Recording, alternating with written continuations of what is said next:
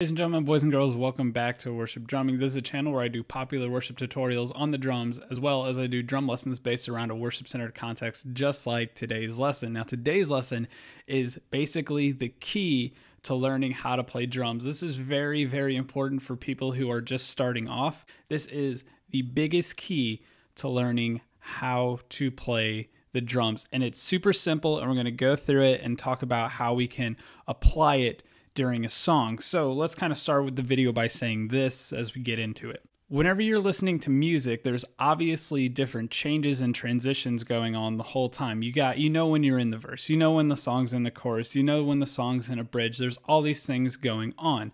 Now, usually the lyrics can help us figure out where that's at, but if we take away the lyrics, the music itself, the instruments are able to help us know where we are at. And the drums are a big driving factor. We're not going to be talking about transitioning the parts. That goes along with fills and stuff, which is a video I just made a couple weeks ago. You can go check that out. But this is mainly going to be how we dictate the feel of where we're at in the song. When you're listening to a song, you have that really light feel like you're in a verse, or you have that really powerful feel like you're in a bridge, or you have that really big open feel like you're in a chorus there I'm going to show you guys how you can do all of that super simple with this one quick lesson. So let's go ahead and move the camera and we'll get into this a little bit more. To get into this lesson, I want to give you guys just a simple backstory that's really going to help explain a lot of this lesson. Whenever I first started off drumming, this maybe had been, I don't even think I've been playing drums for a year yet, but I got asked to play drums at this church camp with some of my some of my friends and I ran this church camp and uh, they asked me to play the drums for it, so I did. And I remember whenever the band was warming up, I was playing this groove, this simple little beat, and the person who was playing guitar came over to me and was like, "Hey, that's actually that actually sounds really cool what you're doing. Like, what are you doing there?" So I just showed him what I was doing because he was interested in playing drums maybe later in the future. So what I noticed though is a lot of the time that I would play this beat, people would tell me that they really liked it or they thought that it sounded really cool. And the thing was, is it was so simple what I was doing that I was kind of surprised that people actually thought that it, it sounded really cool. So I'll show you what I was doing, and then this is going to help us just dive into this whole lesson. Here's the beat I was playing.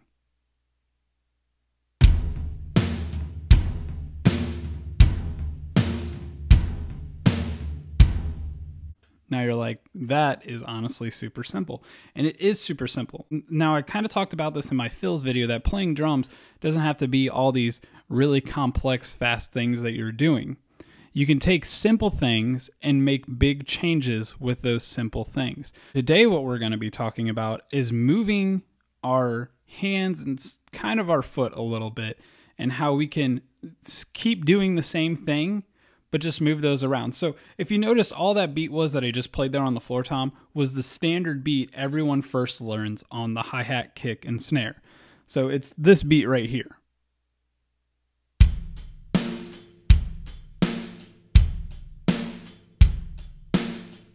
Real simple, eighth notes on the hi-hat, kick on one and three, snare on two and four. Everybody learns this beat whenever they are first starting out. So all I did to change the feel of that was I just took my right hand off the hi-hat and I moved it over here to the floor tom and I just played that same beat. My right hand is the only thing that changed and whenever you listen to the two side by side, you can hear how it just gives it a completely different feel. So let me go ahead and show you what that would sound like real quick.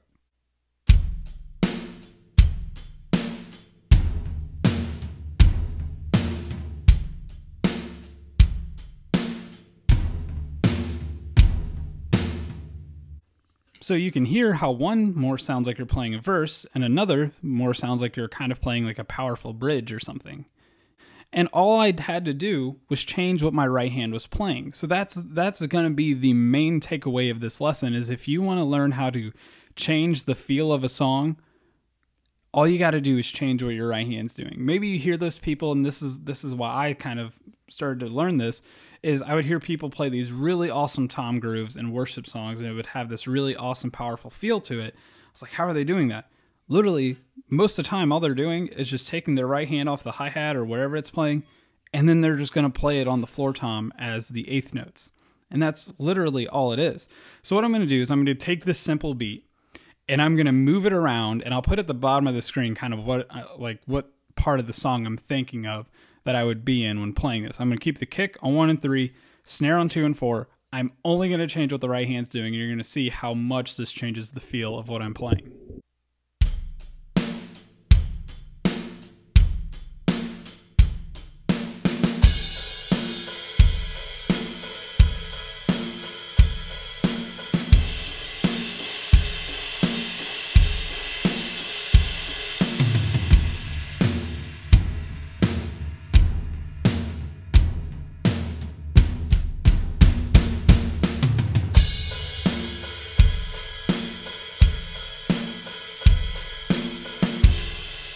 Now, I know I had some fills and some builds in there, which I have lessons on both those two things if you want to go check those out. But really, would help change the feel of the beat as well is just where I was playing my right hand or my dominant hand, what was being consistent throughout the beat. So I could play it on a closed hat, an open hat, a ride cymbal, a floor tom, and it just gives it a completely different feel each and every time. So that's the first thing. If you ever want to make it feel like a big chorus, hop up there to that ride cymbal. Maybe you want to hold off and you want it to be a big chorus, and whenever you get to the last chorus, then move it over to the ride cymbal. Maybe when you get to a bridge, it's got a real nice, powerful message, and it's got like, and it, ha- it has a real powerful feel with all the other instruments. Then start playing your floor tom as your constant. If you're just chilling out in a verse and it's just real soft and simple, play it on the hi hats. And you can just do that same beat, and all you're doing is just moving what that right hand plays. The next thing is going to be the exact same thing, just with our left hand this time. So maybe you know some cool patterns where your left hand plays the snare drum. Go ahead and just take that and move that around. Let's go ahead and take uh, a simple pattern that a lot of people learn at first. And I say simple, sorry if this isn't simple to you. I will teach it real quick as we go through it. So I'm going to take this pattern.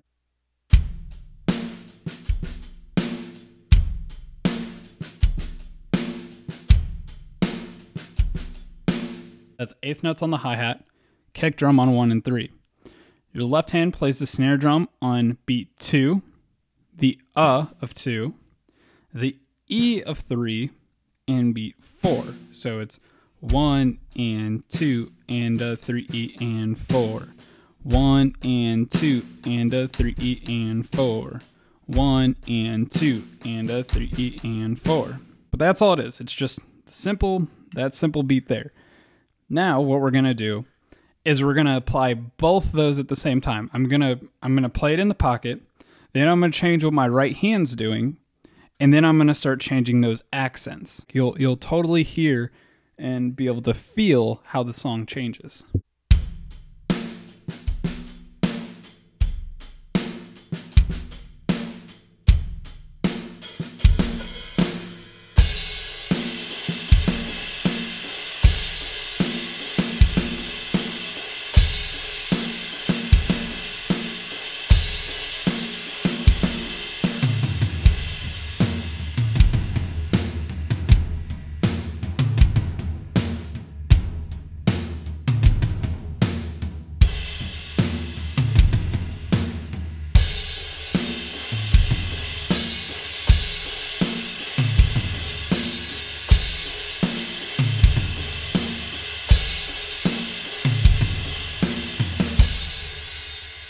Now you notice what I did with those accents is I still kept the snare on two and four and I just played all those little in-between accents on the toms. You can move those two and four, you can move those onto the floor tom. You could throw it on the hi-hat. Literally, there's so much you could do with this. I, I just don't have enough time in one video because I could sit here and go on for days and days on how all you got to do is take a pattern between the hi-hat, kick, and snare and then just start moving it around. I'm going to just take the snare off two and four now, and I'm just going to start throwing it on the toms, and you can hear how just doing that is going to start to also change the complete feel of this.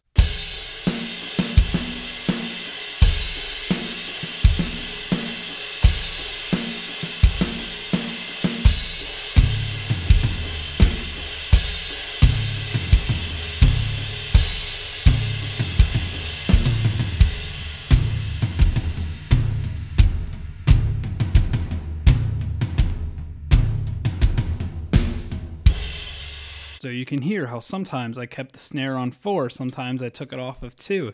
There is just so, so much you can do. So hopefully you can hear how just by doing, applying both those techniques we just talked about, changing what the right hand plays and changing what the left hand plays, but keeping the same pattern, you can hear how that just starts to change the feel of what we're doing. But I never changed the accent pattern between the foot and the snare and the right hand. I still played this same thing. All I did was change where the right hand was playing and what the left hand was doing. So that is the main takeaway of the lesson. I am going to throw in one more thing real quick, and we can sort of change what our foot is doing as well, but we're going to not necessarily talk about all these cool different accents we can do with it. Um, the main thing is you can think about just start putting it with four on the floor. So if I am playing a beat, or you can, or if you're playing in six eight, you can do six on the floor. So all you're doing is you're just going to play that kick drum on every single quarter note, um, maybe to give the song a more powerful feel. So I'll show you how if I'm playing in a, a, chorus or something, and then I go down to the bridge, how adding that four on the floor can help give it more of a powerful feel if I'm playing like a bridge that's on the floor tom and stuff.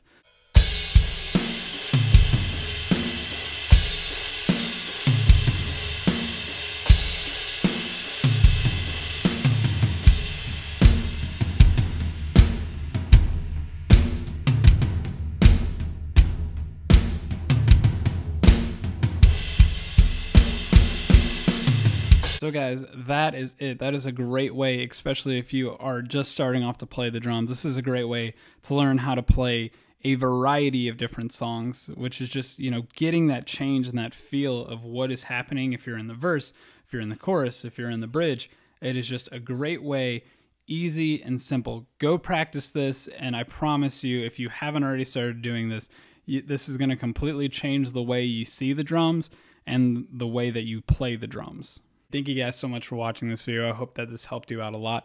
Please go ahead and subscribe below if you're interested in more content like this in the future. Leave a thumbs up if you learned something new and leave any comments or questions you have below in the comments section. Thank you guys so much and I'll see you in the next one.